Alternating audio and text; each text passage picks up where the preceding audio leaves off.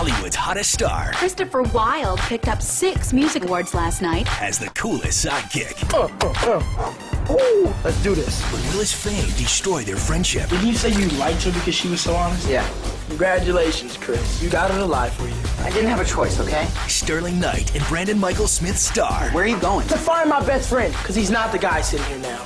Really? Starstruck, the Disney Channel original movie, is coming in February to Disney Channel.